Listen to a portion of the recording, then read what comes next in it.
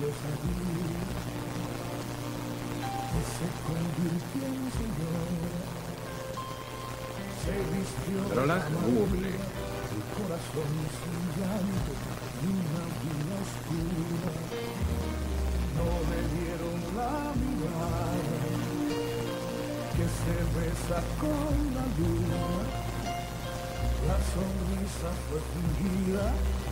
Seniora. Odcinek 80. W pozostałych rolach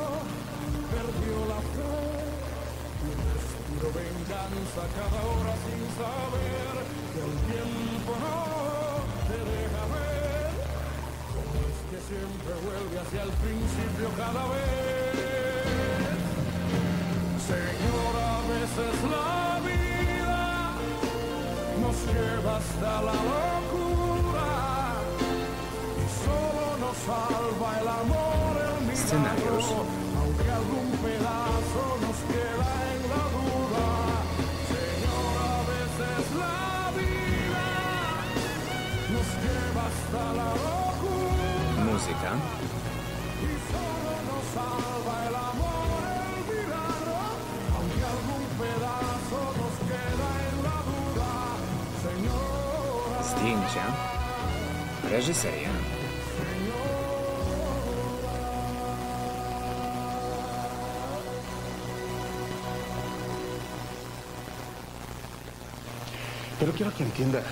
Może mi pan nie wierzyć, ale wszystko robiłem dla dobra córki. No. Nie ma pan nawet pojęcia, jak poważne jest to, czego się pan dopuścił. Y Barbara to nie zabawka. Przyznaję, że popełniłem błąd. Dlatego proszę pana o pomoc. No Nie chcę dłużej narażać zdrowia córki. A ja nie zamierzam narażać zawodowego prestiżu. Moja córka jest w niebezpieczeństwie. Proszę mi pomóc. Musi mnie pan tylko wysłuchać. Czy możemy się umówić na jutro? Dobrze? Będę czekał. Dziękuję. Jestem ogromnie wdzięczny. Do jutra.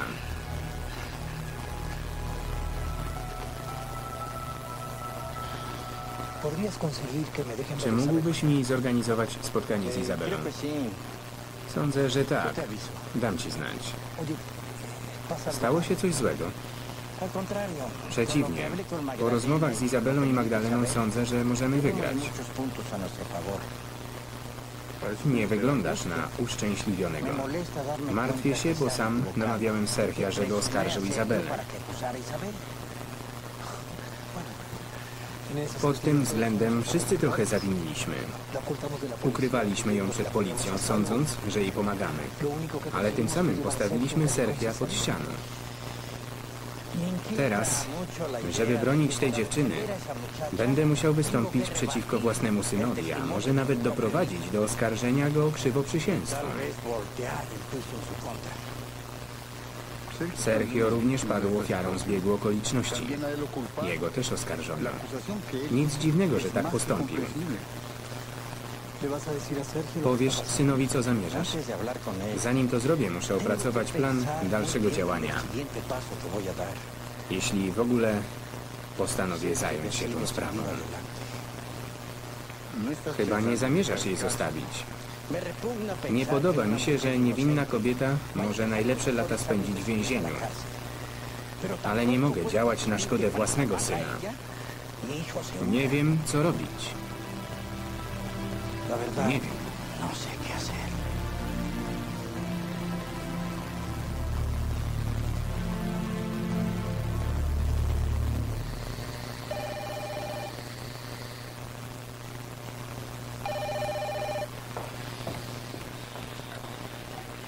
Residencia de la señora Santa Rezydencja pani Santa Cruz. Cruz?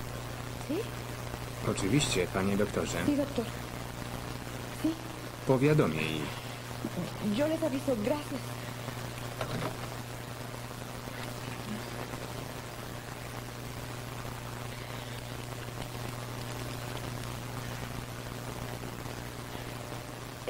Czy to mieszkanie Omar Omara Cervantesa? Guillermina? Cervantes. Enedyna? ¿Qué estás Co tam robisz? No Chyba nie powiesz, no, no. Właśnie dzwonili ze szpitala. Wydarzyło się nieszczęście. Co takiego? Chyba nic się nie stało. Lorenie. Skądże? Pani Wiktoria jest w szpitalu. Podobno została ranna.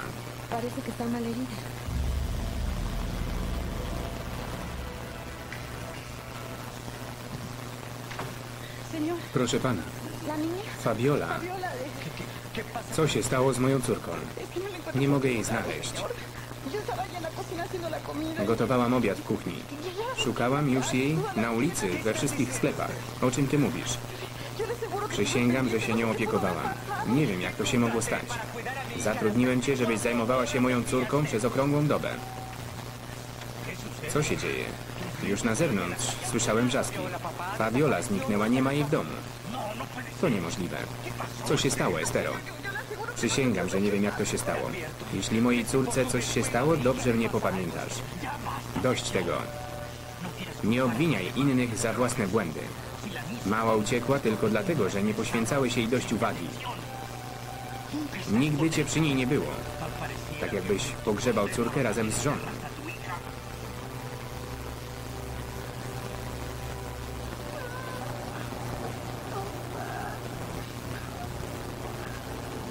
Pero mi amor, ¿qué haces Co tu robisz sama? Nikogo nie ma w domu? Dobrze się czujesz. Estera mnie ukarała. Kazała mi tu zostać. Jesteś córką pana Blanki. A Estera to pewnie twoja niania. ¿Cómo se Jak śmiała cię tu zostawić? Biedactwo. Zaprowadzę cię do domu. A tej kobiecie powiem coś do słuchu.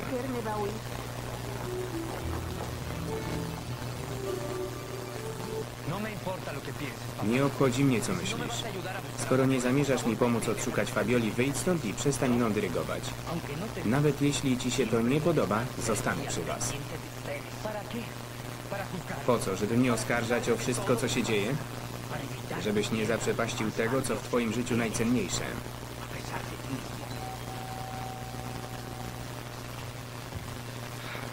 Gdzie byłaś, kochanie? Siedziała na korytarzu i płakała. Dlaczego, dziecinko? Co się stało? Powiedziała mi, że niania ją ukarała, nie wpuszczając jej do mieszkania. To nieprawda. ¿Por qué le haces Czemu mi to robisz, Fabiolo? Opowiedz mi, co się stało. Ja ci uwierzę. Czy to prawda, że Estera zostawiła cię na zewnątrz? Czemu mi to robisz? Bardzo dziękujemy za odprowadzenie dziewczynki. Nie musi pan dziękować. Powinniście lepiej się nią zająć. Biedactwo.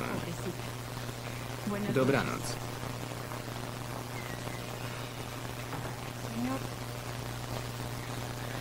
Lepiej będzie, jeśli odejdę. Pańska córka mnie wyraźnie nie lubi. Spakuję swoje rzeczy. Najpierw trzeba wszystko wyjaśnić. To bez sensu. Znów się okazało, że nie umiem zapanować nad pańską córką. Fabiola nie jest potworem. Nie powiedziałam tego. Nie zdołałam zdobyć jej miłości, choć nie wiem czemu. Powiedz mi prawdę. Czy to Estera zostawiła cię na korytarzu? Proszę, powiedz jak było. Dziadek zadał ci pytanie. Tak, to ona. Wyrzuciła mnie z domu, a teraz wy nie chcecie mi uwierzyć. No Nie słuchacie mnie. Wcale mnie nie kochacie i dlatego nie chcecie mi uwierzyć. Nikt mnie nie kocha. Już rozumiem, co tu się dzieje. Nie musisz odchodzić, Estero, ale od tej chwili. Fabiola potrzebuje twojej opieki. Twojej, a nie Estery. Musi wiedzieć, że nie jest sama, że wciąż ma ojca, nie rozumiesz? Fabiola wymyśla bajeczki, żeby mnie rozpieszczał, a ja nie pozwolę sobą manipulować. Musi zrozumieć, że nie mogę wciąż być przy niej. Wystarczy, jeśli co jakiś czas spędzisz z nią popołudnie.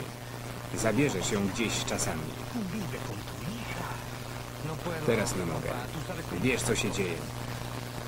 Fabiola musi zrozumieć, że jej mama umarła, a tata nie ma dużo czasu. Będzie musiała się z tym pogodzić. Jak możesz być tak surowy? To moja córka i wiem, jak ją wychowywać. A ja właśnie zrozumiałem, że nie umiałem wychować ciebie.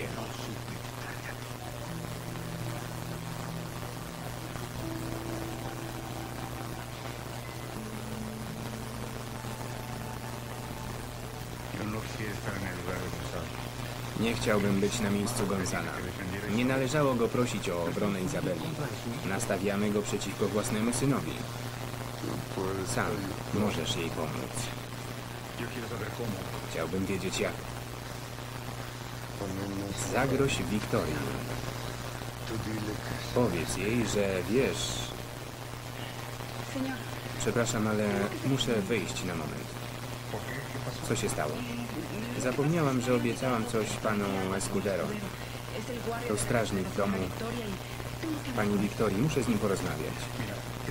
Zawiozę cię. Julio może na jakiś czas zostać sam. No. Proszę się nie kłopotać, to niedaleko.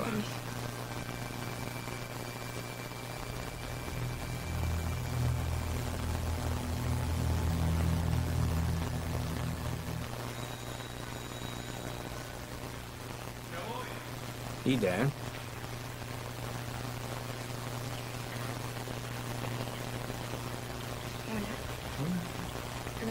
Mogę wejść? Oczywiście. Nie spodziewałem się ciebie o tej porze. Wszystko w porządku? Jesteś pewna? O co chodzi? O to, że cię potrzebuję. Chcę tu zostać z tobą. Ze mną? Mogę? Oczywiście, że tak. Dziękuję. Dziękuję ci za to, że jesteś. Naprawdę cię potrzebuję.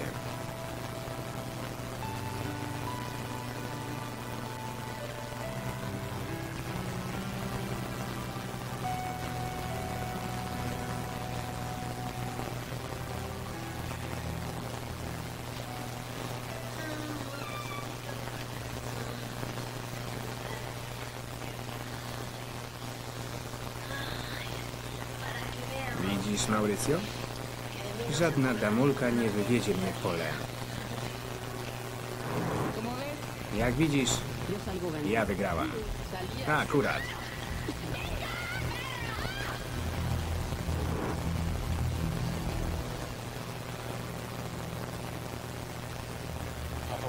Na szczęście narządy wewnętrzne nie są uszkodzone. Nie ma się o co martwić. Czy nie lepiej będzie przewieźć ją do domu? Nie. Rana była głęboka i towarzyszył jej znaczny krwotok. Wolałbym przez jakiś czas zatrzymać pacjentkę na obserwacji. Sprowadzę pielęgniarkę do towarzystwa.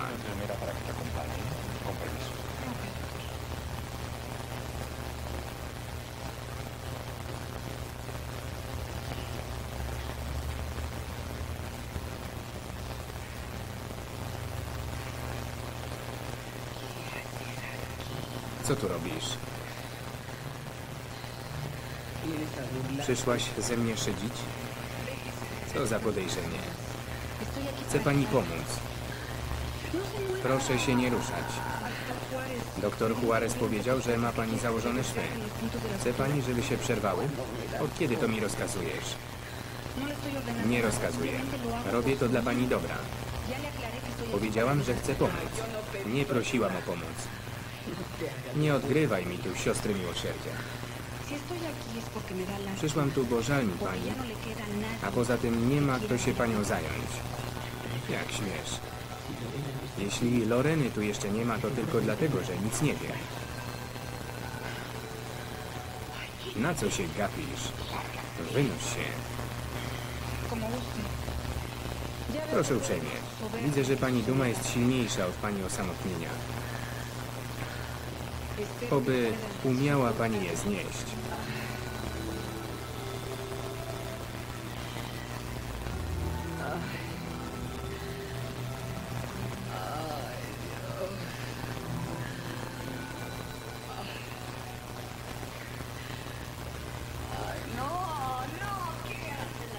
Co tu robisz?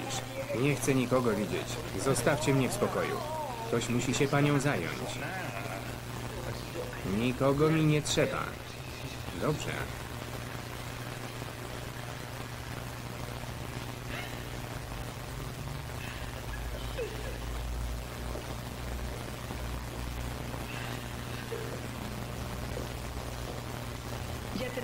Już pani przeszło?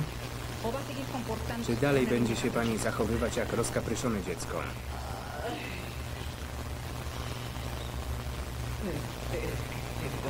Napawaj się swoją zemstą. Zobaczysz, jak ci odpłacę, gdy wstanę na nogi. To już niedługo. Szwy mogą pani dokuczać, ale nic poza tym. Zostaje pani na obserwacji tylko na wszelki wypadek. Jasne. A ty przyszłaś tu, żebym ci przebaczyła. Nic z tego. Nie przebaczę ci. Ton, którym do mnie mówiłaś, rzucając pracę, jest niewybaczalny. I wcale cię nie potrzebuję. Nikogo nigdy nie potrzebowałam.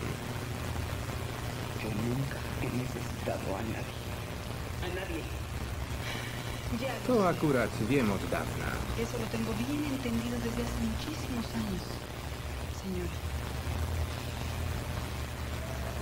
Co zyskasz na odgrywaniu męczennicy?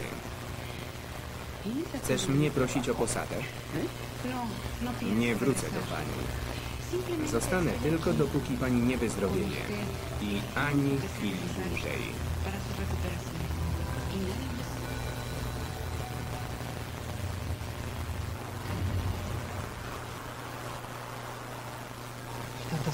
Chciałbym ci powiedzieć wiele rzeczy, ale nie tutaj. Tu wszystko tchnie brakiem nadziei i surowością. Wybacz mi, że pozwoliłem, aby do tego doszło. No, Nie masz za co przepraszać. Lepiej powiedz mi, jak ja mam sobie wybaczyć to, że jak idiotka zakochałam się w niewłaściwym mężczyźnie.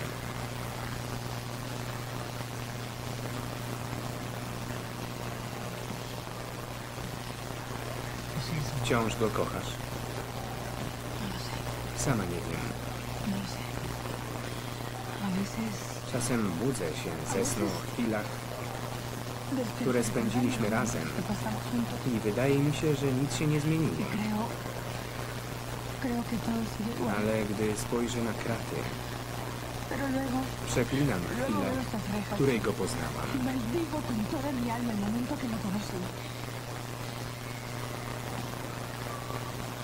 Ja cię kocham. Kocham cię, a ty o tym wiesz. Proszę, daj mi szansę. Chcę, żebyś znów uwierzyła w miłość. Nie mów tak. Las nie ma nadziei. nikogo nie wolno mi pokochać. Nie mam do tego prawa. Jestem criminal. To nieprawda. Voy a conseguir tu Pomogę ci odzyskać wolność. A potem już nigdy nie pozwolę cię skrzywdzić. Przysięgam. Lepiej już idź. Dziękuję za wszystko.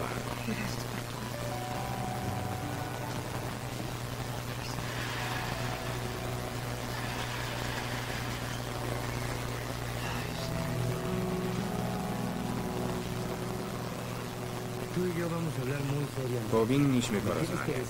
Musisz mi opowiedzieć, co wydarzyło się wczoraj. Już ci powiedziałam. Czemu mi nie wierzysz? Nie lubię, kiedy kłamiesz. To nie są kłamstwa. Estera się mną nie zajmuje. Chcę, żebyś ty ze mną został. Wszyscy mamy pewne obowiązki. Nie mogę być ciągle z tobą. Zatrudniłem Esterę, żeby opiekowała się tobą, kiedy ja jestem w pracy. Ale ja chcę, żebyś był przy mnie. Już mnie nie kochasz? Ależ kocham. Wszystko, co robię, robię dla ciebie. Estera musi się tobą zajmować, a ty musisz jej słuchać. Musisz być dobrą dziewczynką. Jeśli jeszcze raz samowolnie wyjdziesz z domu, bardzo się pogniewam.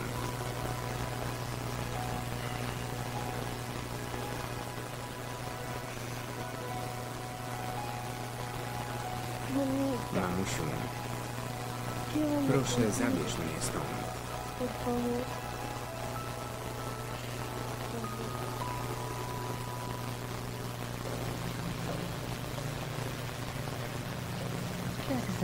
Co tu robisz? Sprowadź samochód. No. Nie musisz ze mną jechać do domu. Lekarz zalecał, żeby przez parę dni pani się nie przemęczała.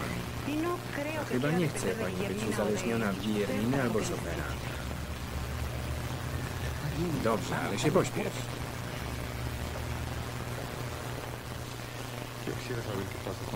Chciałbym wiedzieć, co się dzieje z la Wczoraj wróciła po dziesiątej, dziś wyszła wcześniej i nie powiedziała dokąd idzie. Mam nadzieję, że to nie kolejny problem. Mamy już tak wiele.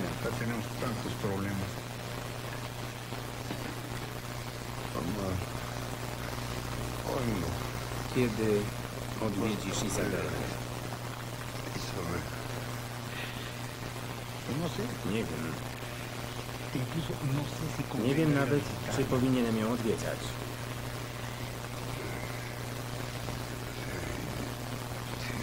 Powiedz jej, że ojciec bardzo ją kocha. Niestety nie mogę. Rozmawiałem z Magdaleną. Zgodziliśmy się, że na razie lepiej zataić prawdę. Wystarczy, że Izabela wie, co chciałeś z nią zrobić. Nie powinna się dodatkowo dowiadywać, że kobietą, która chce ją zniszczyć, jest jej własna matka. No. No. Izabela wie, że ja no. I tak i nie. Wie, quiso że ojciec chciałaby umarła, Pero yo ale nie wie, że ty nim jesteś. supiera. Wolałbyś, żeby się dowiedziała. Magdalena wie, że tu jestem.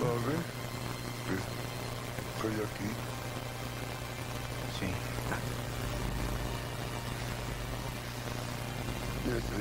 Muszę z nią porozmawiać.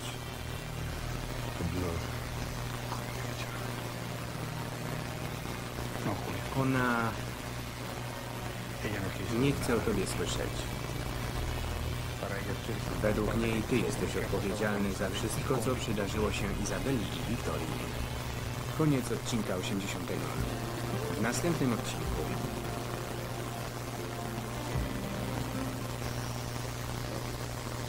Z kim rozmawiałaś?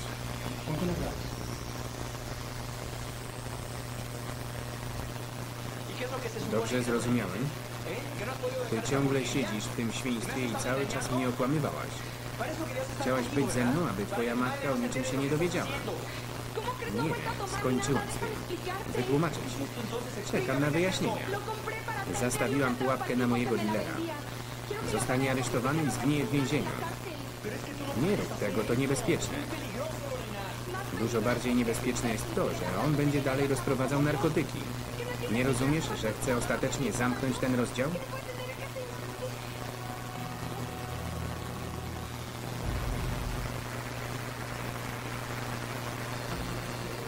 Wersja polska i rozpowszechnianie Studio Publishing. Tekst Justyna Zandberg. Czytał Jan Czerniewski.